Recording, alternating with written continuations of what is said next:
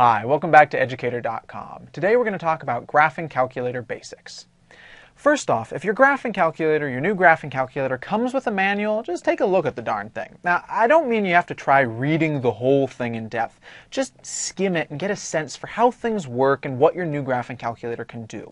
You don't have to understand everything right from the beginning, but you want to know enough so you can come back later and find something that you're looking for. You're just looking to pick up a sense of how the graphing calculator works. If your calculator did not come with a manual, that's okay. Just play around and experiment. You'll learn how it works by just trying out new things.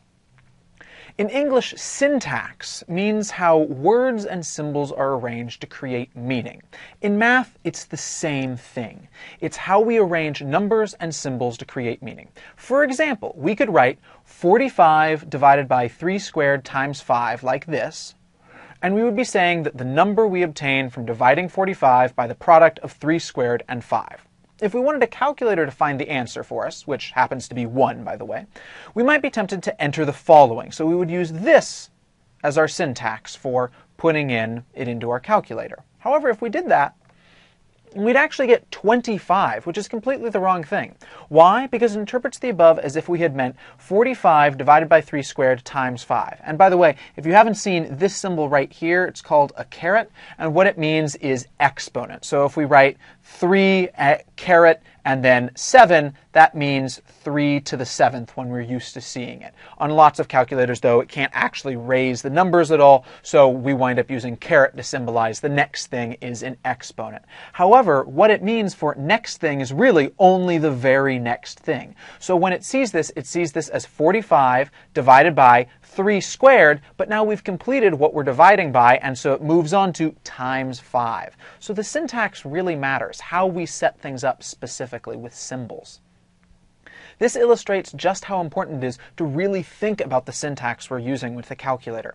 Make sure to use parentheses to indicate the proper order of operations. How you want the calculator to do things, you have to tell the calculator with syntax. So if we want to have 45 divided by 3 squared times 5, what we do is we'll say it 45 divided by, and then we'll put quantity 3 squared times 5. That way it knows that it's being divided by the whole thing of 3 squared times 5 anytime your input might be misinterpreted, use parentheses. It never hurts to have unnecessary extra parentheses. Putting in too many parentheses doesn't actually do anything bad.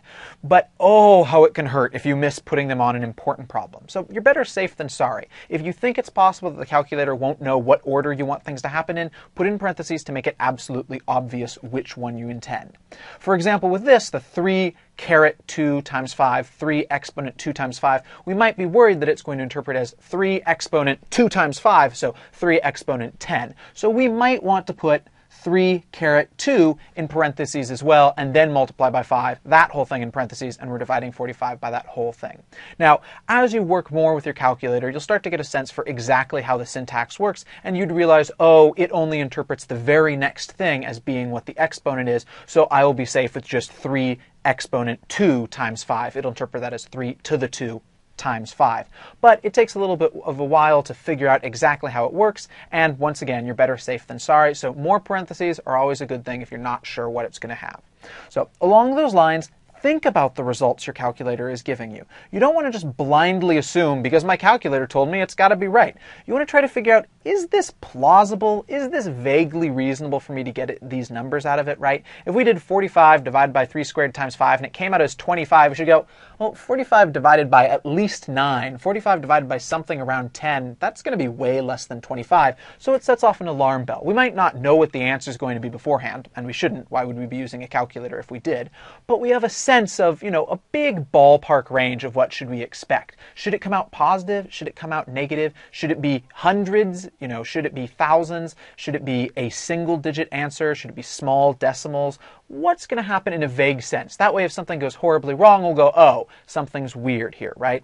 So try to figure out what will be a plausible answer before you just punch it in and automatically believe what you see come out of your calculator. And if you wind up seeing something that seems a little bit off, it smells fishy, double check your syntax and make sure you told the calculator what you meant it to do and you didn't accidentally tell it something slightly different from what you wanted it to do. For the most part, you'll almost never need to change the settings on your calculator. Pretty much all the settings on your calculator, you'll be able to just leave them as the factory standard. There are some that you might occasionally want to change, but that's probably sort of an advanced user thing that you won't really need to deal with for many years. The only settings you'll definitely need to care about for the next couple years are what unit angles are measured in and the graph mode. Other than that, you're basically fine leaving all your settings the same.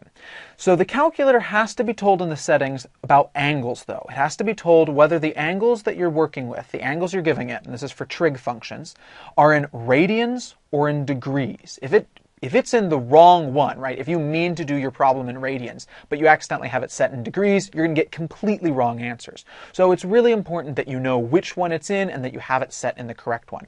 It's normally a pretty easy option to find and change whenever you need to. So whenever you switch from radians to degrees, make sure to think about, oh, did I go and change it in the settings? Also, one way to double check which one you're in is to do something like sine of pi over 2 or sine of 90, right? Sine of 90, if you're in degrees, will come out as 1. Sine of 90, if you're in radians, will come out as not 1, and you immediately know if you're in radians or degrees by just putting in this simple number, sine of 90. It will tell you which one you're in without having to check the settings. But it's also normally really easy to check the settings. It's just a single button press. So be careful when you're swapping between radians and degrees. Make sure you're using the right one, because if you aren't, all your answers are going to wind up coming out wrong.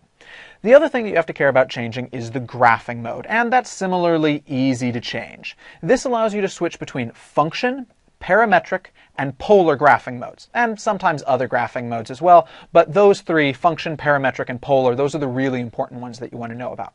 Normally, you'll want it in function mode most of the time, and so that's what we'll be talking about first, but we will talk about the other ones later. At the last, uh, last lesson of this appendix, we'll talk about parametric and polar for a little bit. But normally, most of the time, you'll do all your work in the function graphing mode, and that's what you want to usually leave it in. Occasionally, something will go wrong and your calculator will give you an error, error message. If that happens, don't panic. You can figure out most error messages simply by reading them and thinking about whatever you just did. Try to get a sense of, okay, what does this kind of mean? And then what did I just do with my calculator that might have caused something to go wrong? Thinking about most of them will probably answer a lot of the questions that you'd have.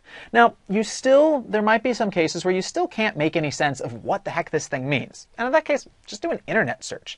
Type the product name of your calculator, whatever that is, and then whatever the message says into a quick search, and probably the chances are the next thing you'll have is an answer to your question. You'll have it figured out and fixed in no time. So just a quick internet search will solve this for you really fast. Oh, internet, what would we do without you? Oh, right, we'd just look through the error messages in the manual. But we've got the internet usually, right, if you're watching something like this, so why do that if you can just do a quick search? Of course, if you really can't figure out what it is and the internet's no use, try seeing if you can find a manual or email tech support for whoever makes the calculator you're using. Your graphing calculator is, without a doubt, so much more powerful than you currently realize. Virtually all modern graphing calculators can do a wide variety of tasks, more than just calculations and graphing. They're usually capable of working with sequences, series as well, probability, combinatorics, matrices, statistics, finances, and many other things. Normally, you've got a huge array of things that your graphing calculator can do that you aren't even vaguely aware of yet. So basically, if you come across a new topic, chances are your graphing calculator already has some functionality that's connected to this new topic you're learning about. So if you start a new topic and you want to see, oh, it sure would be useful if there was a way a calculator could do this, just do an internet search with the product name you've got and the topic you're interested in. Just search your calculator and whatever the name of the thing you're interested in is, whether it's matrices or probability, and you'll probably be able to find very quickly a guide for doing that specific thing with your calculator, and you'll be able to get an introduction to a new way that you can use your calculator. The easiest way to learn how to use a new graphing calculator is just to play around. I really can't encourage this enough. Be curious, try new things, and see what happens. Exploring on your own will do you a world of good. And don't worry about somehow breaking your calculator either. It's going to be fine. Unless you've decided to explore what happens when you pound against it with a rock, hint, bad things, you can't do any real harm to a graphing calculator by just playing with it.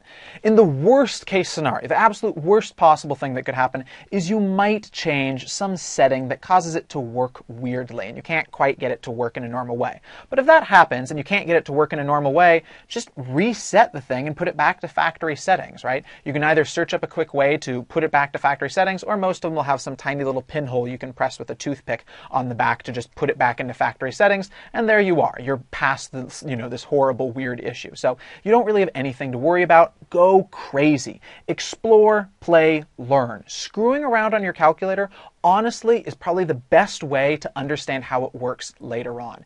By playing around right now, you'll be able to be used to the stuff that you actually have to use in a year or two years' time. So it's a great thing to just play with now, and that way you'll see things so that later on when you see new ideas and new terminology, you'll be like, oh, hey, I recognize that. dy over dx, oh, my calculator can already do stuff with derivatives. Things like that. Pretty cool. All right, in the next lesson, we'll talk about actually putting a graph into a graphing calculator and some other ideas along those lines. We'll see you at educator.com later. Bye.